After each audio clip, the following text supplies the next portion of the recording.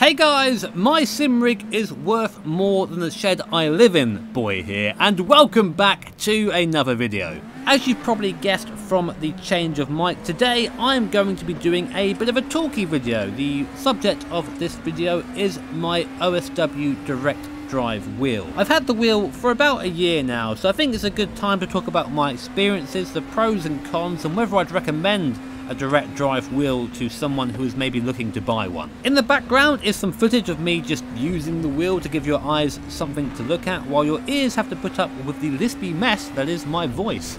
Get wrecked ears. So the first thing I'm going to do is go over what a direct drive wheel is and what makes it special, what makes it desirable.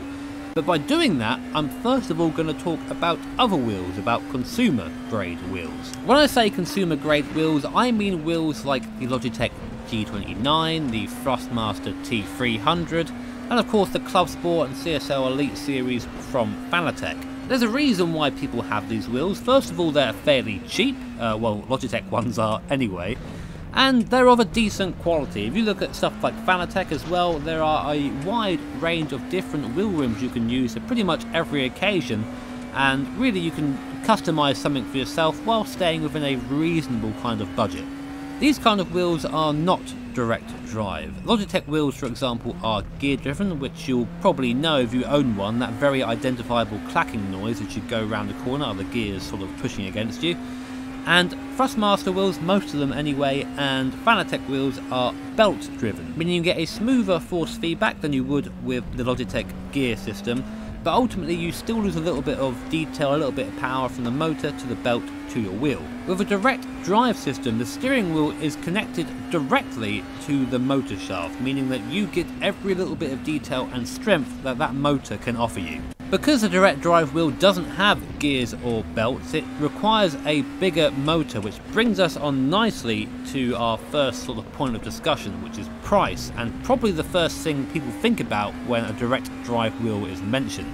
Now I have an OSW from Simucube, and that's towards the bottom end of the direct drive price range. Uh, even that, however, just for the base, cost me £1,200. No wheel, no pedals, no shifter, no quick release, no nothing, just the base £1,200. A lot of money.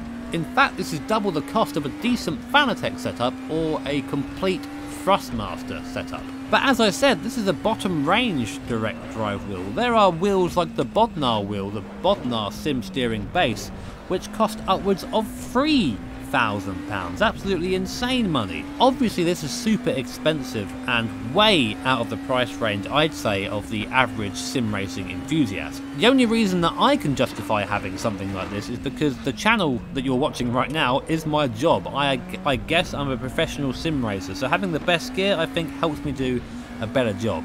However, that's not where it ends. As I mentioned, it's highly recommended to get a quick release, which is about another £100, and an actual wheel rim that will fit on that quick release, which again is another £100. And on top of that, you will need, and I mean need, a very rigid rig to hold the power of the wheel. Your standard wheel stand or desk will be shaken apart by the force of the wheel, so you really need to get something that can hold up to the amount of power the wheel is able to produce. The rig I use, for example, the Heusinkveld rig, is another £1,200. So with that, we're already well above £2,500 and we don't even have a set of pedals or a shifter yet. So in short, yeah, it's pretty pricey.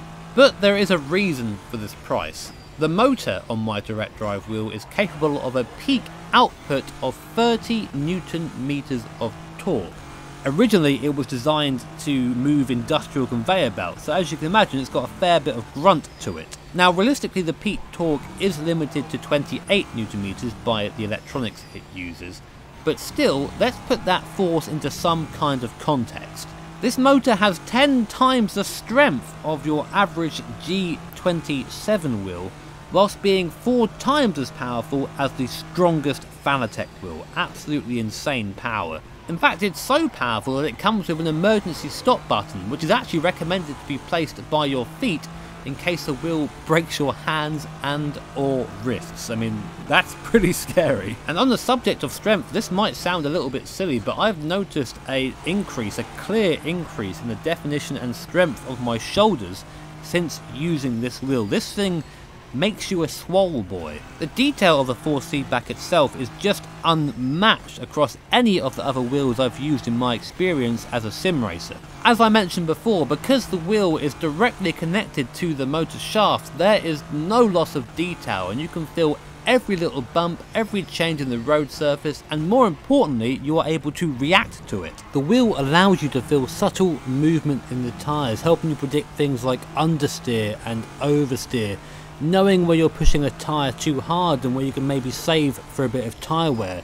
It's something you really have to feel for yourself to understand. There have been many occasions where I've had scary moments in Sim that I feel I wouldn't have been able to catch or correct with a consumer grade wheel.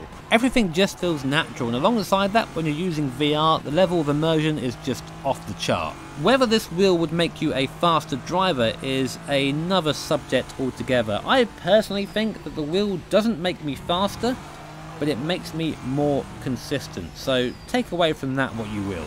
Of course, as you can imagine, having a wheel of this strength and this detail isn't the easiest thing to set up. In fact, it's far from plug and play. I'd say in total it took me about two weeks to get used to how the wheel worked, how to set it up properly, and how to dial it into the settings that I was most happy with. The wheel comes with two pieces of software that you have to somewhat learn to get it to work, the ones that I've been using anyway are MMos and Granity. MMos is sort of a more general program to get the, uh, the wheel up and running in the sim, whereas Granity is used to really fine tune the force feedback settings, and you can really spend hours in there if you, if you want to.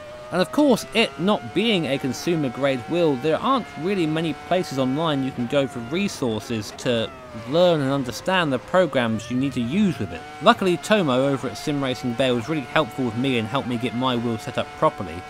But even once we had the wheel set up properly, I still suffered with EMI, electromagnetic interference.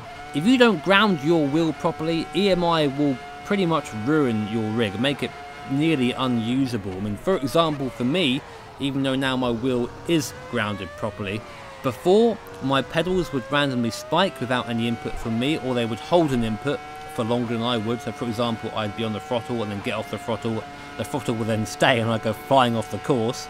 And buttons on my steering wheel would, would just activate randomly or not activate at all. So, if you don't have the wheel grounded properly, it can really mess up your experience. So I guess that brings us very nicely to the last part of the video, which is a simple question, would I recommend this after owning it for a year? If you're an average sim racer, I'd probably say no. The reason being primarily costs involved and everything you need to get it working. It's not a consumer piece of kit.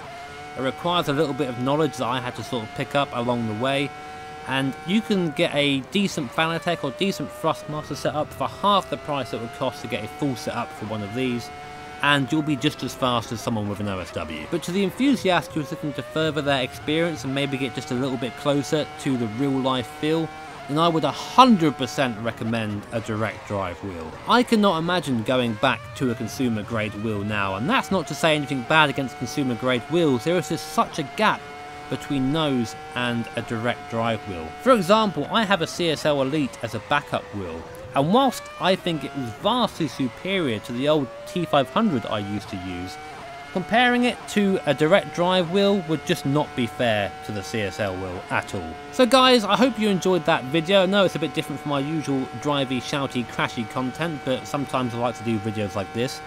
If you found the video informative at all or enjoyed it, then please hit that like button and of course if you really enjoyed it, hit the subscribe button, hit the bell notification icon, that way you get notified of whenever I go live on stream or put up a new video. If you have any questions about the direct drive system that I use and I didn't quite answer the question you have in the video, feel free to pop it in the comments below and I will do my best to answer it. Take care, have an awesome day, and I'll see you guys next time.